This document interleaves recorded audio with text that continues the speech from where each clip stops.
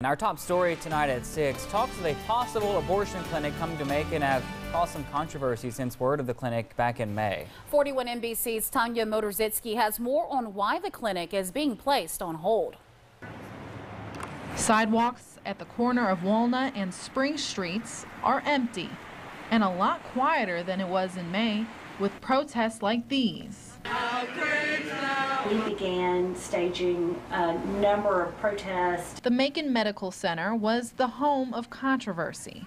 After word of the Summit Center, a clinic was coming here because one of the procedures the clinic does is abortions. The pro-life community had become very complacent because we had not had an abortion clinic in 30 years and so there were a lot of people who feel passionately that we shouldn't have an abortion clinic. Every Monday, members of the Colby Center and other anti-abortion supporters came to 833 Walnut Street to hold marches and pray that the Summit Center wouldn't move in.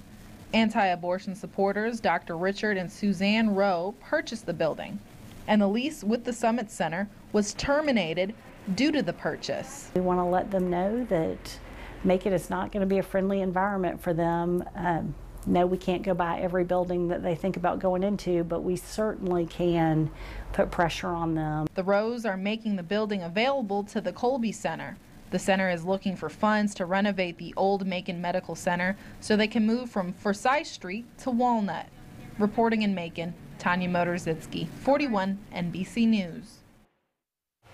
And there's no word yet if the Summit Center will find a new building to move into. 41 NBC reached out to the Summit Center, but they declined to comment.